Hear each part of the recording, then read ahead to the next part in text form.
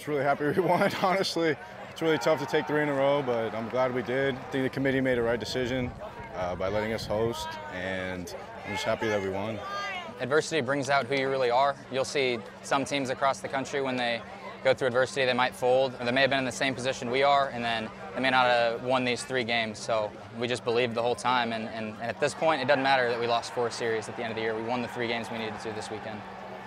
A big saying is you either win or you learn, right? So we had a lot of learning opportunities throughout the back end of the SEC season. So it just came all together in this regional, and I'm just really happy with the outcome.